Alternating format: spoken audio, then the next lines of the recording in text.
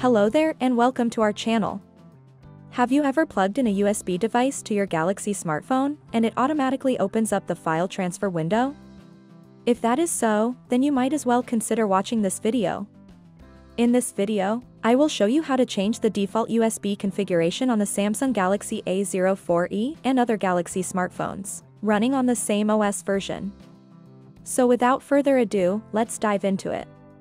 To get started, tap on the gear icon from the Home or App screen to launch the Settings app. While in the Settings menu, scroll down to the bottom section then tap Developer Options. It should be listed next to About Phone. If you don't see developer options in the settings menu, then you will need to enable it first. To do so, simply head over to settings then tap about phone.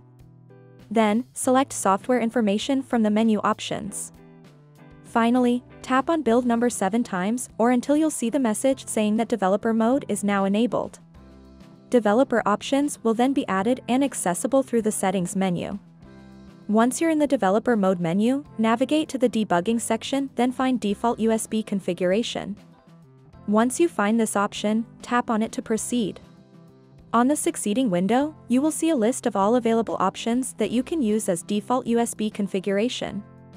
Choose transferring files if you want your phone to automatically enable file transfer the moment it's plugged into a computer, via USB cable. Otherwise, simply tap to mark your preferred action. Among other options you can use as default USB configuration aside from transferring files are USB tethering, MIDI, transferring images, and charging phone only. Your recent changes will be applied when your phone is unlocked and connected to another device via USB cable. To ensure privacy and security, only connect your phone to your trusted devices.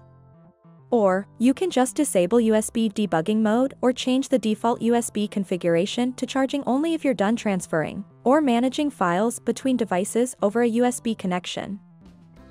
And that's all there is to altering the default USB configuration on the new Samsung Galaxy A04e smartphone. We hope you found this video helpful. If you did, please give it a thumbs up and don't forget to subscribe to our channel for more tech-related content. Thanks for watching.